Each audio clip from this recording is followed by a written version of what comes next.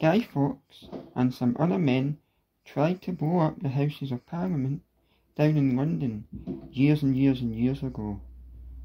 And that's why we celebrate Bonfire Night, which is tonight, the 5th of November. So in this video, you'll see some fireworks. Hope you enjoy them.